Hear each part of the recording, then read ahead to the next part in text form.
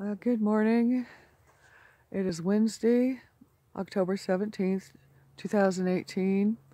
It's 5 till 7 in the morning. Looking northeast and towards the east. Uh, the southeast. A nice little star in the southeast.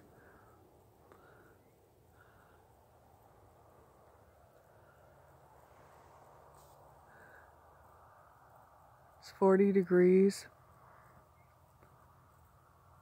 Have a great day, everyone.